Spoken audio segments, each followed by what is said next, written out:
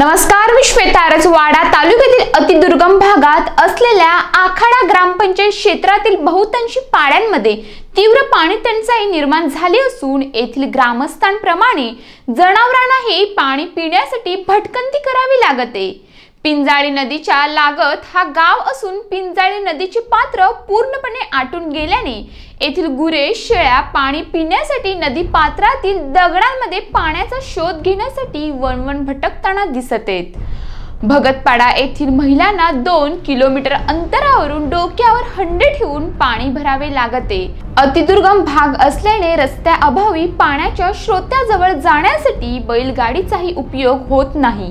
मुंबई महानगरपालिकेचा प्रस्तावित असलेला पिंजाळ प्रकल्प याच परिसरात असून आखाडा हे गाव बुडी क्षेत्रात येणार असल्याने या परिसरातील अनेक विकास कामांकडे शासनाने दुर्लक्ष केल्याचे दिसून येते.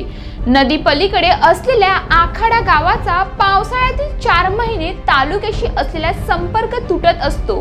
दीड हजारहून अधिक लोकवस्ती आखाडा ग्रामपंचायत क्षेत्रात असून ती शंभर टक्के आदिवासी समाजाची आहे. येथील पाणी टंचाई रस्ते याकडे शासनाने लक्ष द्यावे अशी मागणी येथील नागरिक करत आहेत. आखाडा गावाच्या तीन किलोमीटर परिसरात सध्या कुठेही पाण्याचा स्रोत नसल्याने येथील जनावरांना पाणी मिळणे कठीण झाले.